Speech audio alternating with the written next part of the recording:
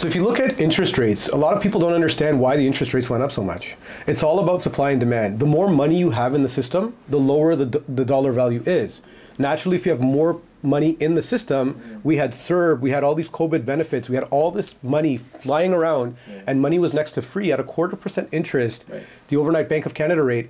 It was free to borrow money. And so everybody borrowed it. The more money you have in the system, the higher the purchasing power. But with more demand, it means everything becomes more expensive. Mm. And so when you look at interest rates, you look at inflation, last year at the end of January, we were at approximately 11% of an increase in the cost of living between interest and inflation alone.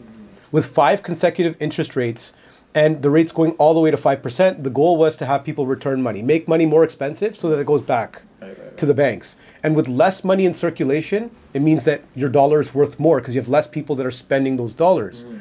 And so between interest and inflation now, we know the inflation numbers have come down. What the Bank of Canada has done has been extreme, but it has worked. Mm-hmm. Last month we hit 2.9% in terms of inflation. But when you look at inflation numbers now, the inflation numbers specifically for housing, the amount of interest, the cost of housing has gone up. And if you look at the core inflation index, it's almost like you're feeding a diabetic sugar to cure them of diabetes. It doesn't make any sense. But it's had an impact. So inflation is down, interest rates are going to fall in tandem. And once inflation and interest rates come back to a normal state, mm-hmm. you're going to see a rush of people returning to the market.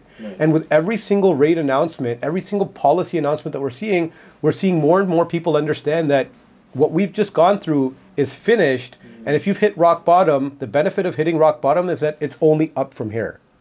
With only up from here means that if you're a homeowner, you probably want to hang on to your home if you can, because the alternative of selling would be renting, and rents have gone up like crazy as well. So if you're in the market today and you can afford to keep your home, give up the Tesla, give up the Rolex, give up whatever you can to keep your home because the future is going to be in having equity in your home. And if you've got the right partners, you've got the right people in your corner, you can leverage the equity, mm. consolidate your bad debts, and make your life manageable and affordable. And you can build generational wealth when it comes to real estate.